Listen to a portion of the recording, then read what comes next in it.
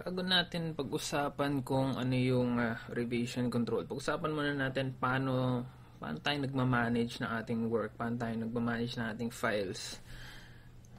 Well, nung mula simula pa lang, nang kung natuto ka gumamit ng computer, yan, sinasabi sa iyo, pag nag may ginagawa ka, huwag mong kakalimutan mag-save. Yan, kailangan mag-save sa software development, hindi naman ganun kalaking problema yung uh, makakalimutan mo mag-save. Kasi software development, kung hindi ka nag-save, para ito, meron tayong simpleng HTML rito, hindi ka nag-save, hindi lalabas yung expect mo. Kasi kumari ganito, yung hello, hindi lalabas hanggang nag-save ka. Pa rito, dito na lalabas yung hello world. So, yun yung unang parang level paano tayo nag, uh, nagma-manage ng ating files. Hindi natin nakakalimutan mag-save. So, sunod, uh, try naman natin ibang level naman ng uh, pag-manage uh, ng ating work.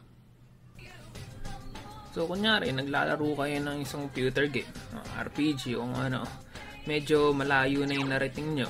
Na nyo rito, yung gamit natin, medyo malakas na. Then, yung level natin, level na gamit natin, medyo malayo-layo na rin sa ano, malapit na tumatapos yung laro na to.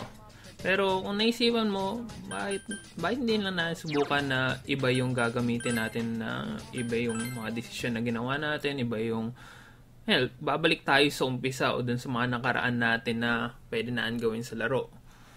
So, yun, pwede tayo bumalik sa title screen, bago, yun, pwede tayo mag-load ng ibang game. So, dito, sa laro na to, medyo marami tayong save game, pwede tayong tingnan kung ano yung mga, yun nga, progress natin, mula 87 uh, hours sa maglalaro, down to, yun nga, pababa ng pababa. Pati sa umpisa, yung una natin save, nandito rin. So dito, eh, pwede na pumili. 7 hours i-load natin para yun nga, medyo maaga pa sa game. Pwede natin ibahin yung mga decision na ginawa natin.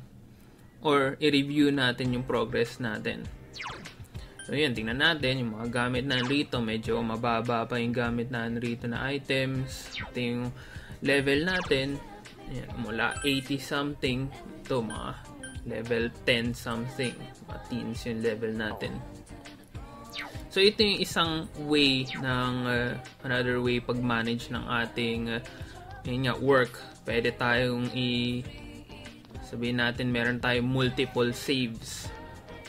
Yeah, balik muna balik tayo dun sa ating uh, normal na ginagawa dun sa ating computer.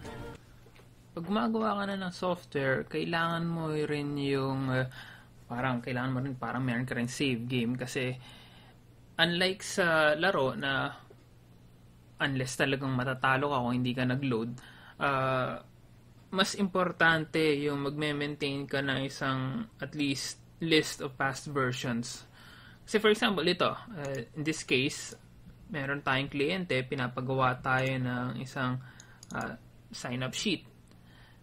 Uh, nagpadala na tayo ng dalawang previous version sa kanya. Yun nga lang, sinabi niya, yung version 1, medyo okay siyang itsura niya.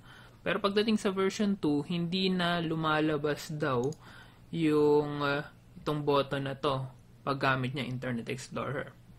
So yun, parang ginawa natin, ang approach natin rito, parang yung ginagawa ng mga estudyante, parang ginagawa ng mga inexperienced developers.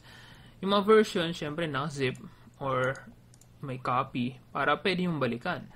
So for instance yun, tignan natin yung uh, uh, version 1 And version 1, medyo luma pa siya. Check natin dyan sa Internet Explorer. Medyo okay naman siya. Tingnan naman natin yung version 2. Pag tinignan natin siya, mukhang okay pa naman siya sa Chrome. Pagdating sa Internet Explorer, so yun, nawala na yung button, pero mukhang dito pa rin yung button. Nga lang, hindi siya lumalabas sa Internet Explorer.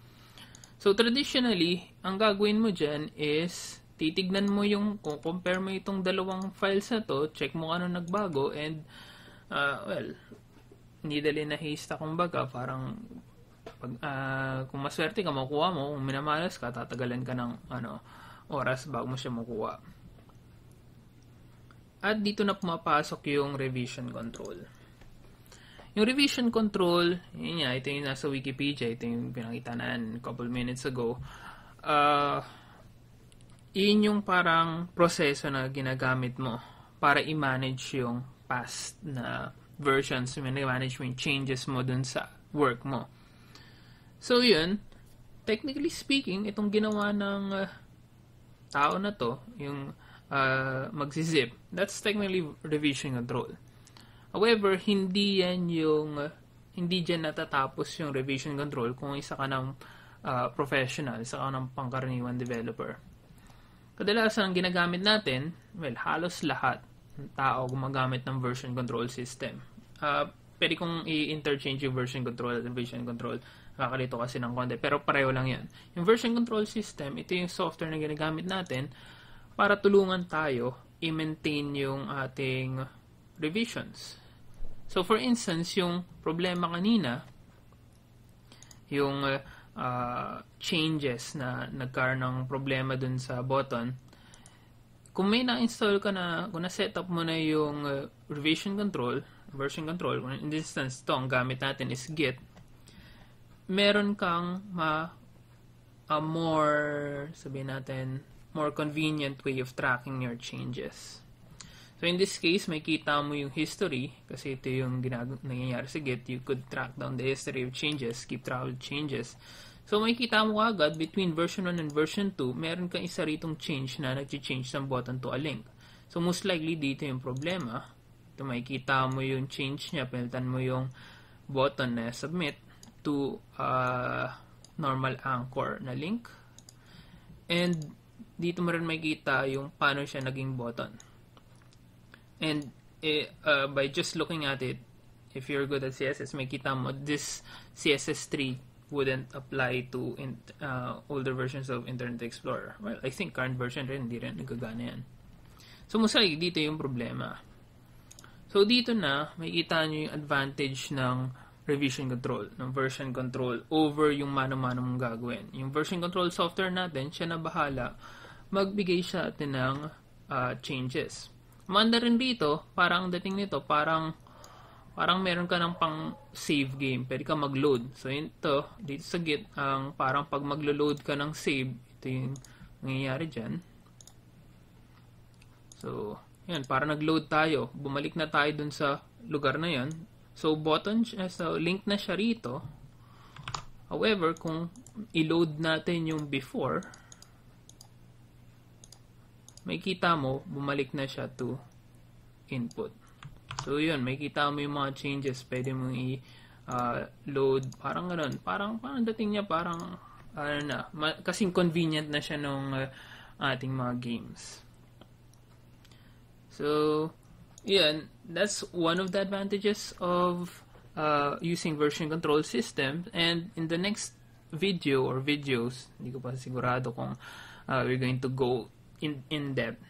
Papakita natin yung other reasons why average developers uh, use version control over some uh, some uh, half-baked solution na may kita mo na ginagamit ng mga uh, students or ng mga inexperienced na, na developers. So, yan. Just proceed to the next video.